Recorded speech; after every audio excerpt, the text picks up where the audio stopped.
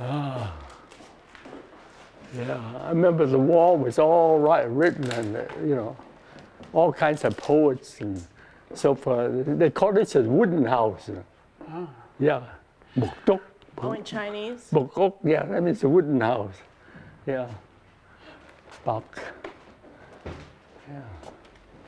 Some of the very, very nice writing, some of them in the, oh, this is really a lot of memory to me. And this is the original wood. Yeah. Yes. All the original.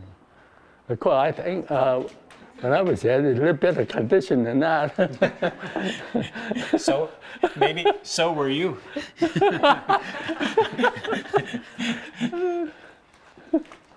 But had so much time to just carve it with their own jackknife or something like that. You don't carve the thing.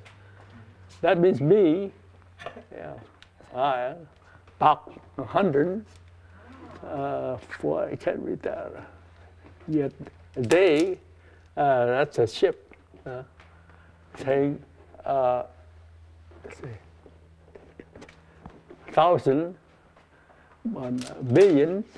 No place to go, so they just you know, and they're thinking about how long I can stay here, you know, stay here forever, and so forth, you know. I understand some someone committed suicide because they figured they Didn't have their couldn't, papers they right. couldn't get land. Maybe something wrong with the paper or something like that. They killed themselves. And then uh, maybe had, to, you know, if the same village would tell the guy to tell my family that uh, I just can't, can't stand this, It's so.